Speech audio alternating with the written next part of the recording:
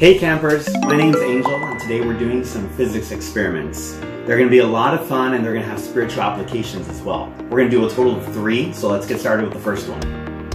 For this first experiment, you're gonna want a plate, a small bowl, some scissors, matches, and a bag of tea. Doesn't matter what kind, you can use any. This first experiment does involve fire, so please be very safe, ask for your parents' permission, and make sure to have their supervision so they watch you doing this. So what you'll want to do first is grab your tea bag, and then just slice off the top with the scissors, just like that. And you just have the tea left in there.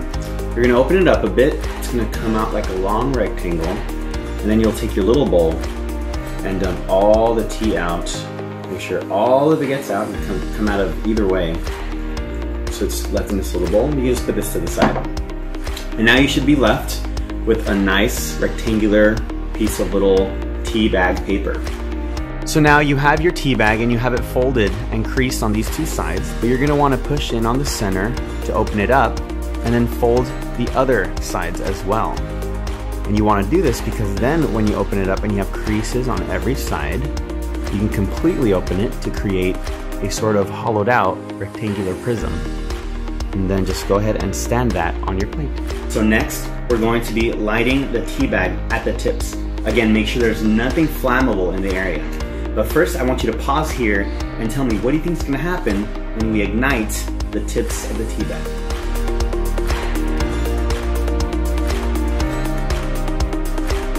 Okay, campers, now that you've taken your guesses, here we go.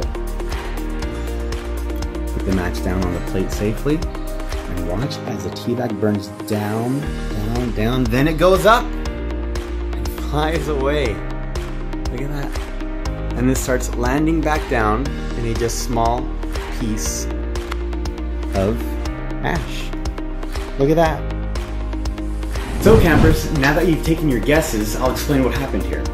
The tea bag kind of serves as a hot air balloon. A lot of people say, you know, hot air rises.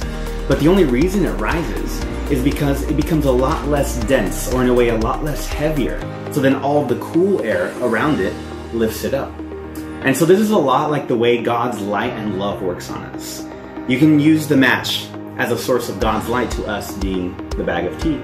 And so when God touches his love and his light on us, we are lifted up and we are given great, great encouragement to keep moving on in life. And there's nothing within ourselves or this world that can lift us the way God does. We first need the touch of his light and his love. For this next experiment, you're gonna need a long stick. A broomstick works just fine. Put both index fingers on either side and balance the stick just like this. Move them slowly towards the center until eventually those two fingers meet.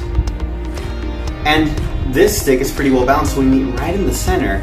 So go ahead and pause and try and take a guess. Why is it we met right in the center?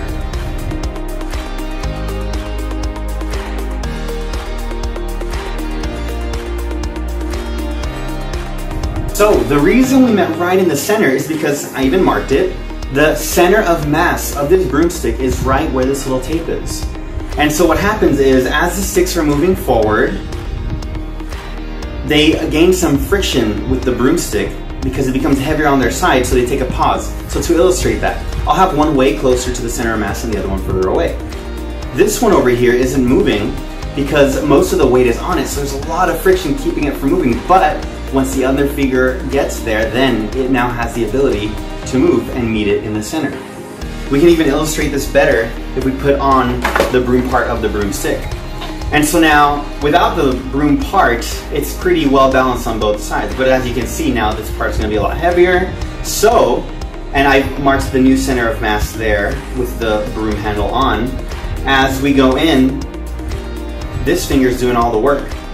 Not until it gets pretty much to the center, it gets more friction, allowing the other finger to finally move and then meet right in the center.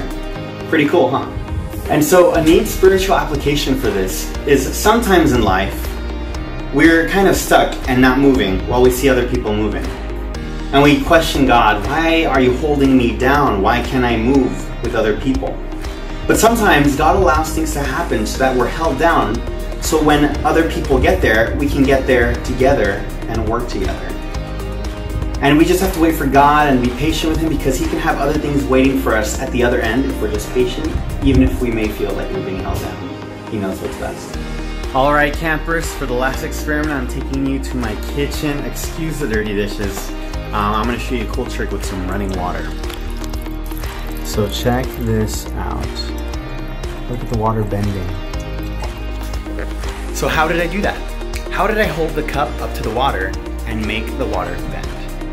That one I'm not gonna explain. I want you guys to try and recreate it. Be the amazing scientists you are and try and look into why the water bends. Hope you guys have a great time with the rest of the videos. Enjoy Summer Camp 2020. Hey there campers.